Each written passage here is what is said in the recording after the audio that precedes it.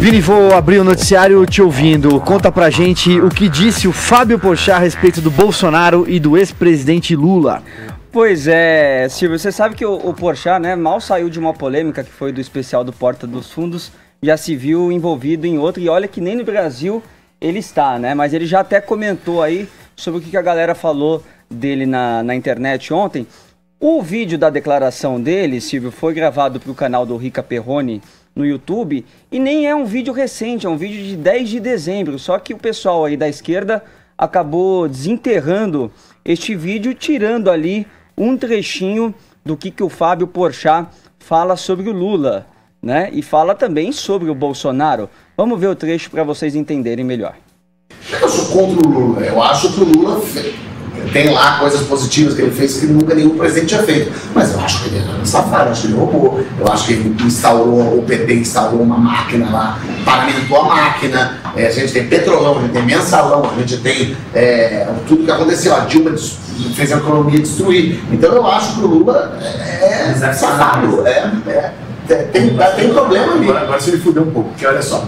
Então significa que você odeia o Bolsonaro odeio o Bolsonaro. Eu acho a pessoa mais despreparada do mundo. Eu acho ele nocivo para o país, para a instituição. Eu acho que a única coisa positiva do Bolsonaro ter ganho é porque tirou o PT de continuar. Eu acho que é um sinal muito ruim para o país dizer que depois de 16 anos, depois de tantas descobertas falcatruas, é. o PT vai continuar.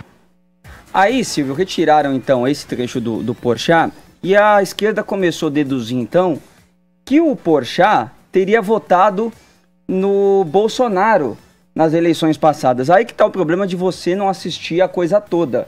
Porque depois, quando você vai ver o vídeo completo, o Porchat passa os próximos 15 minutos, pelo menos, batendo no Bolsonaro, falando que ele acha que o governo do Bolsonaro é uma tragédia. Inclusive, fala que na eleição, no primeiro turno, ele não votou, porque ele não estava no país, mas ele teria votado na Marina Silva, que ele acha que a Marina Silva era uma candidata mais ponderada, e que no segundo turno ele votou no Haddad.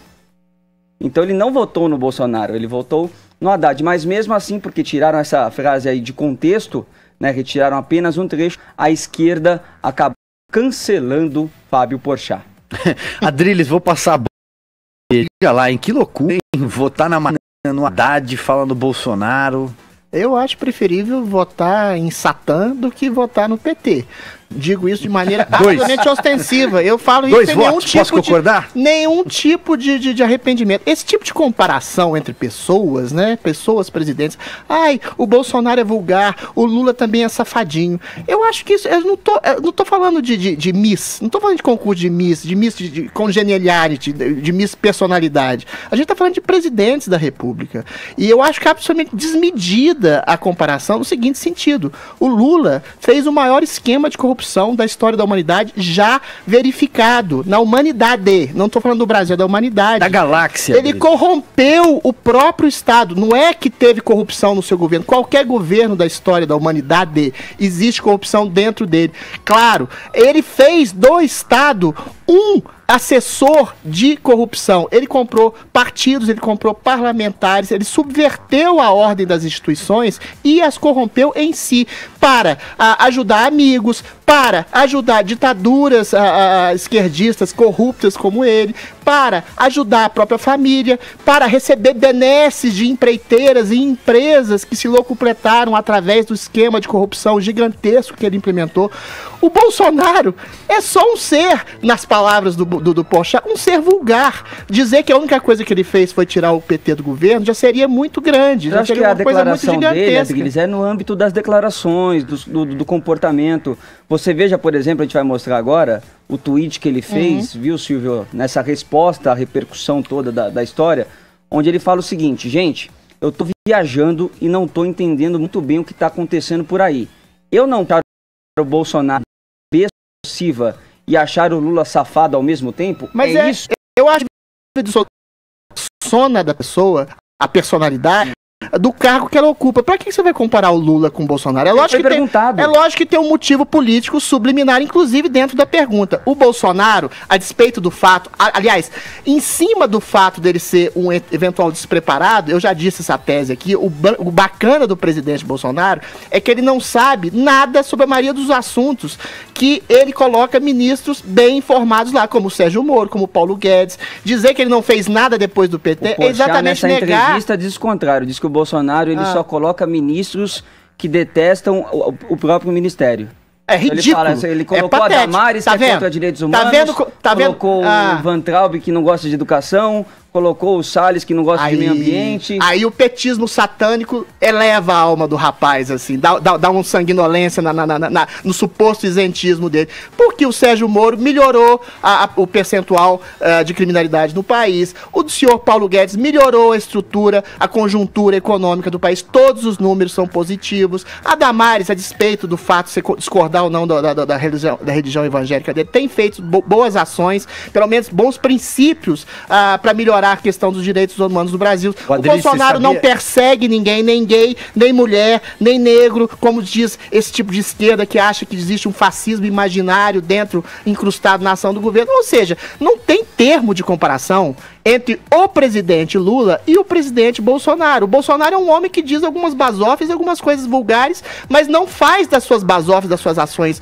ah, vulgares, ação de governo. Muito pelo contrário, o governo dele, do ponto de vista de números, que é o que importa, tem se valido Só de fazer ótimos uma, números. uma ótimos ponderação aqui, vocês dois seguem aí no debate, mas só fazer uma ponderação que é, até, por exemplo, o Instituto Datafolha, que é contestado por muitos bolsonaristas e tal, pelo próprio presidente, né, porque tem uma ligação evidente com o jornal Folha de São Paulo, da qual o presidente é, não gosta e critica é, sempre. Até o Instituto aponta que alguns ministros, como você mesmo citou o nome do, do ministro Sérgio Moro e da ministra Damares, Ministro Tarcísio, ministro Tarcísio Gomes de Freitas da, de infraestrutura, né? Que é, ele é mais calado, ele fica longe dos holofotes e tal. Tem aprovação. Esses três, por exemplo, têm índices de aprovação muito grande na Sérgio Moro população, maior em que diversos estratos da sociedade, do eleitorado pesquisado, né? Seja de baixa renda, outros ministros em eleitorado de, com renda mais alta, nível de escolaridade maior. Enfim, há ministros muito bem avaliados,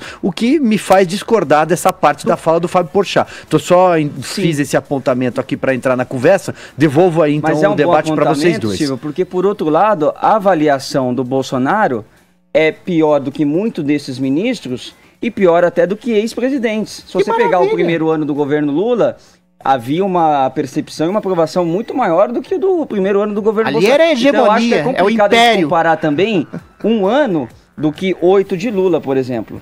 Falando de presidência. De presidência. A gente não pode fazer oposição, meu O caro. que veio Vini. depois a gente sabe. Assim como a gente não faz oposição a um tipo de fascismo imaginário, a gente não tem jeito de fazer oposição a um futuro. Sim. A um futuro, exatamente, a um princípio de algo que ainda vai acontecer. O que a gente que tem é um ano de governo.